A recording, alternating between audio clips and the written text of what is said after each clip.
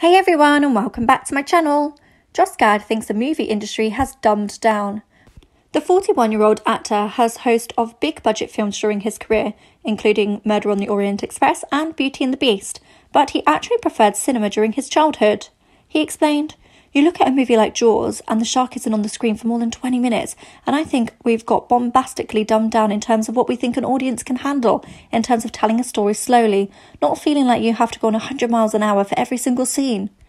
Josh developed a passion for comedy as a child, and he thinks that he helped his mother to overcome her relationship heartache. He told The Independent, There's a reason people seek out, out comedy. It's a salve to the pain, it's a weapon to combat the darkness, it's an opportunity for people to break through their grief. In my case, it was not only an opportunity for me to cut through the pain, but also was a great resource to carry my mum, whose sadness I felt on my shoulders, to a place where she could smile. As he got older, Josh realised that he could actually turn his comedy talents into a career. The Hollywood star explained, What starts off as a weapon in the form of defence becomes something that gives you strength.